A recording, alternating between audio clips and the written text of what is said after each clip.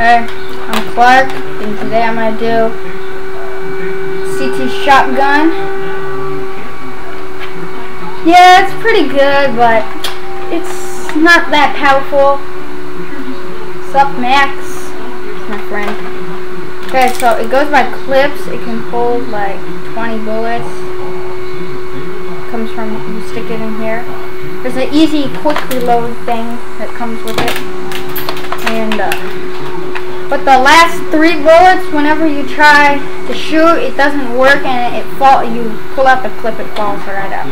Uh, it can hold like 20 bullets or so.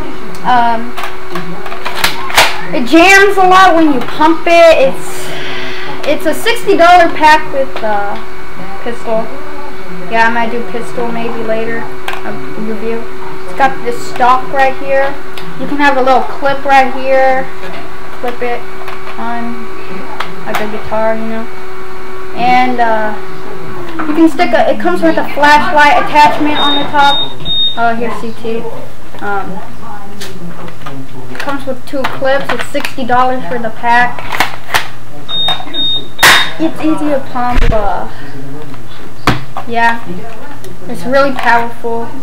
You can split bullets in half when you shoot, but still, I don't recommend you get this. It's heavy, yeah. Uh, so when do you want to sleep over? Yeah. He's making a I know. That's what you did, CT. Oh, keep on going. Okay, whatever. That's gonna be good for the video. Okay, see ya. Okay. That's it for right for today. Here's the stock. Here's the I mean here's the barrel.